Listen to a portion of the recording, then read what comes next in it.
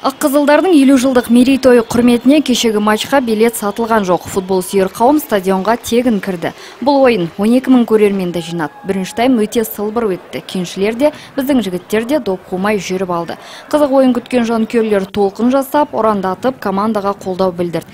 Ақ және қызыл парақшаларды көтеріп, клуб құрылған жыл 1967 деген санды жазды.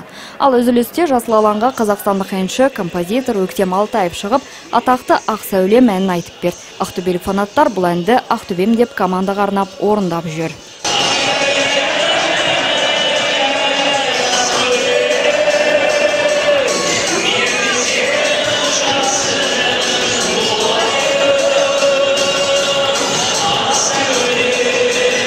Счет 0-0 пока.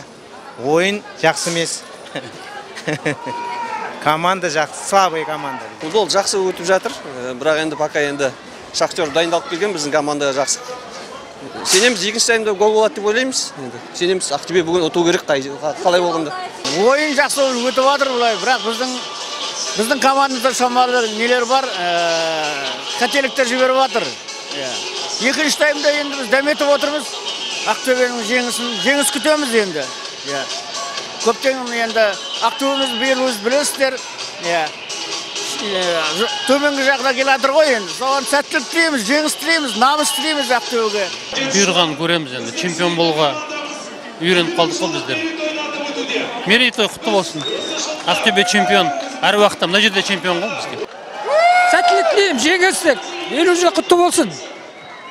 Ақтөбе чемпион. Ақтөбе жеңе берсін ақтөбе жеңіске жете берсін. Біз біз әрқашан қолдаймыз.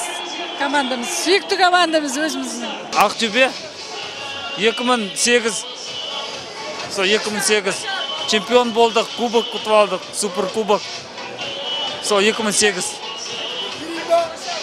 бұйырса чемпион боламыз ғой келесі жылы. Екінші тайм басталды. Ойынның 50 минутында стадионның әр секторынан 50 жылдыққа мерейтойлық серпантин шашылды. Шоу суықта жасыл алаңнан көз алмай отырған көрерменді сәл серпілткендей болды.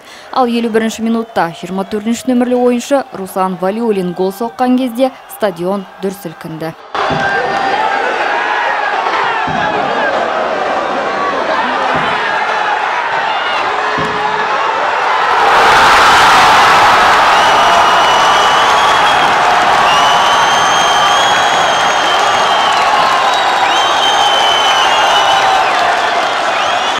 Голдың авторы Марко Обрадович. Ол кездесудің 81 минутында ақ қызылдардың басымдығын еселей түсті.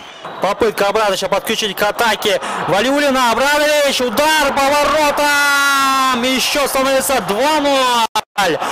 Марко Абрадович.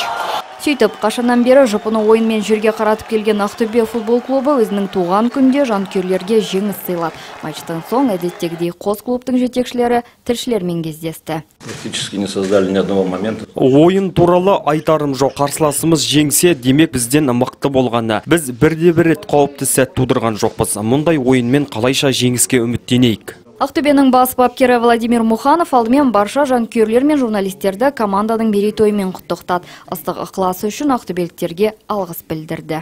Понятно, что э, мы с Шахтером где-то не на лучших турнирных позициях.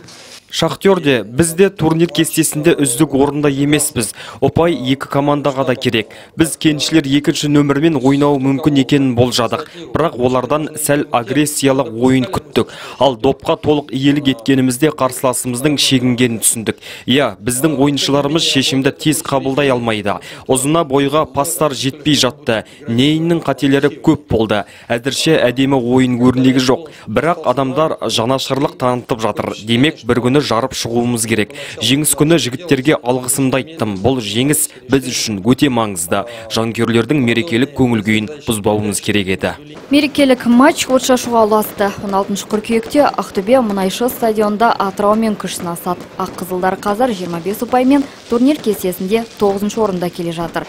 Соңғы 10 жылда 5 рет чемпион болған. Ақтөбені футболдың астанасына айналдырған 50 жылдық команданың тарихы бұлай бітпеуі тиіс. Гүлвира Сейтенова, бай тәулік